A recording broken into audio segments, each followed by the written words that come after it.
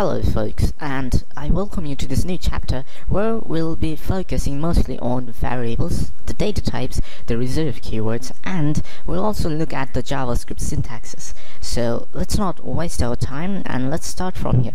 We wrote a code that we named as the first code.js and we declared a variable, we assigned a value to it, and then we printed that variables value on the browser and we have seen how these browsers react when we want to print a JavaScript code. So let us now analyze what this variable is, how this works and why is it so important in the programming world. So we created a variable that we named as the first variable. This variable holds a string value of this is my first variable initialization. So what we are doing in here is that we are telling the compiler that Mr. Compiler we are going to declare a variable with this name. This is in programming's perspective this is known as the identifier. So the names that we assign to the variables or the storage systems. Variables are generally a storage system in the computer's memory. So when we name them they're uh, officially in programming world known as the identifier. This is also true for functions and many other things but we'll discuss about those later on. Let us now focus how this is structured.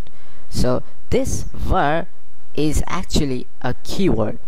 This var is reserved word in programming's perspective in JavaScript. So what this, why this is reserved? Because this, when we write this, you can actually see that the uh, editor is changing the color of this var keyword. So when this color changes occurs, it means this is part of the core programming. But other than that, these are the programmers defined identifiers. So we know that we first need to form a complete expression a complete statement sorry. A complete statement means in programming's perspective a complete sentence. So suppose we say that I live in uh, suppose I live in my house. Uh, this is actually an English sentence. This is a complete sentence. So in human language, this is known as the complete sentence, but in programming's perspective, when we want to write a complete sentence, it is known as a statement. So this entire thing, this entire thing, along with the semicolon that we placed at the end is known as a statement in programming. So when you write a complete statement or a complete uh, a complete sentence in programming, you need to include this semicolon at the end of that statement so that the compiler can understand that we are going to end this expression and this is going to form as a statement. So there is a general difference between statement and, and, expressions in programming. Expression, as we can always refer it from our human terms, is an incomplete sentence. It, it has phrases, but it's not a complete sentence. But when we want to refer to a complete sentence, we say it as a statement. So what we have learned is that we need to declare a variable using the var keyword so that the compiler can understand that we are going to declare a new variable that will hold a certain value. Now first, after we named it, we named it using the first variable and this has been initialized. So the first part is called declaration or variable declaration. This entire part is known as variable declaration. So what this is telling, this is telling the computer that we need to assign a memory inside the computer's memory, uh, inside the computer's uh, storage system so that we can store a certain number of value or a certain value inside it, whether it be string or we can also assign a number, a random number and store it inside this variable. So suppose we go on and we just write var first variable in our compiler and we end the statement here. So what this does this actually declares the variable but this variable is empty.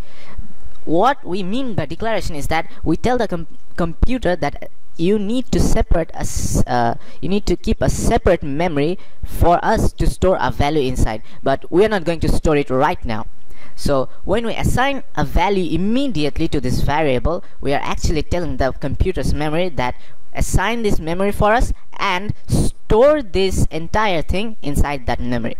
So when we tell the uh, computer that we want to store this value we actually mean initialize this value for this variable. So this is known as variable initialization so this initialization means that when we assign a value to our variable we are initializing it. So in here when we say that we are declaring a variable we are and we are not initializing it it means it will have it will also have a value but that is actually not regarded as a value in programming. So that is is known as undefined. This first variable when we don't initialize it with a formal uh, formal value. When we don't want and initialize it with a formal value it holds this undefined value. Although it's not value in programming context it's known as value to and it's assigned to this empty variable which tells the computer's memory that don't store anything yet. So here we are and uh, this the first part we have learned that this is called the declaration. This is the identifier and this is the initialization. So there's another part to this variable. Let me just show you. Now we can actually go on using the same single var keyword to declare two or more variables in one go. So how do we do it? First let me just create two new variables but you can go on uh, declaring several variables in one single line. So let me name them as second var and third var you can also go on and uh, create or declare two more other variables or four more other variables but try to be concise with your declarations if you do not want to initialize them at the initial stage. So uh, let's end this statement and let's save this. So the difference between us the programmer and the compiler is that the compiler would actually see them separately. They it wouldn't see as if it's going to be reading a single variable but it's going to see that uh, var second var and var third var. This is how the compiler is going to read.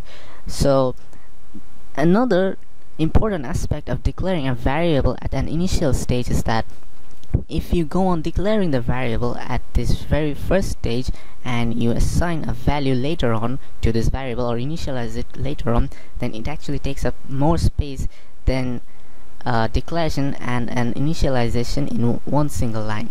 But it's also important in some programs when you create an application in, in several of your web projects that you might come across times when you need to keep a variable empty. So you need to keep that variable empty in the in the sense that you need to fill that variable later on in your program. Suppose you need to use that variable to change its contents dynamically through looping through using a function or any other uh, syntaxes of JavaScript. So we'll be talking about functions and the looping processes later on in our series but let's assume that we have some idea about looping. So suppose we take we have already declared this variable called third var and it holds the undefined. This undefined means it's empty and it's not going to store anything inside the computer's memory.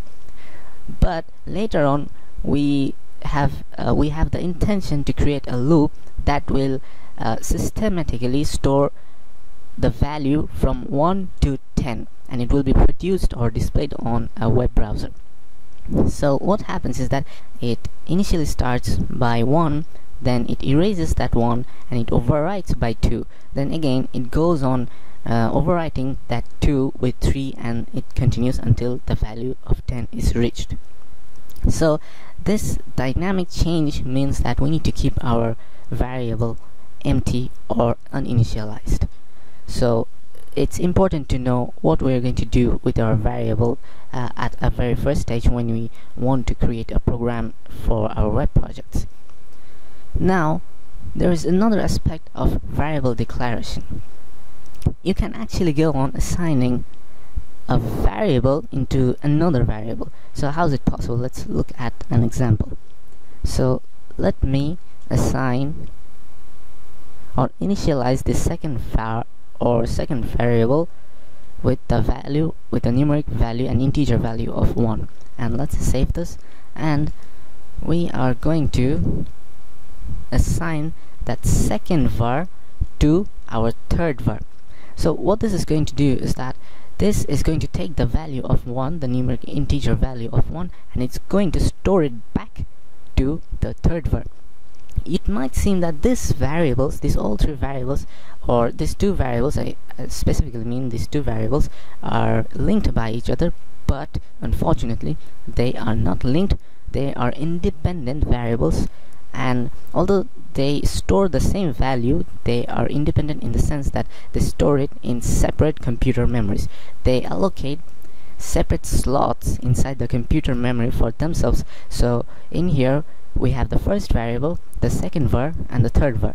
So we have three slots three distinct uh, specifically we have three distinct slots inside our computer memory. You can think of it like plots the land or um, the plots that we buy to build our houses.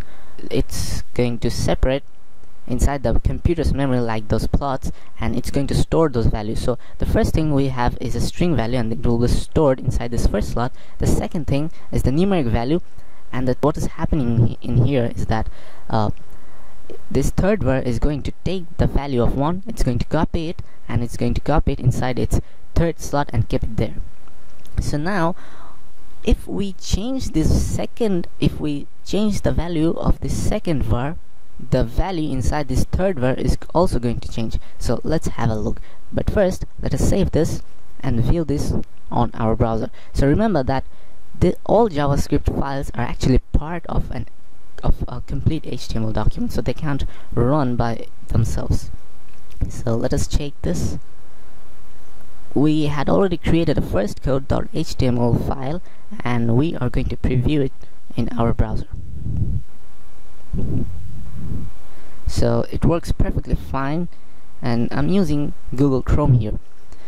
So let us look at what happens if we change the value to 5 in our second var so let's save this and automatically we see there is a change in our program and it's going and it's displaying 5 on it. So if you look carefully I have actually used the third var as the parameter inside this alert alert function which means that I have passed this third first variable inside this alert function and this alert function is printing it on the browser. What happens is that this variable is actually storing a copy of this uh, value uh, retrieving retrieving a, copy of this value from second var and storing it by its own self. So what it's doing is that it's retrieving first and copying it to itself. So every time you change it it's going to retrieve it first and then it's going to copy it inside its memory slot. So all three variables are independent. No matter how many variables you create in the process of making a web application your variables keep on being independent and they allocate um, space um, space inside your computer's memory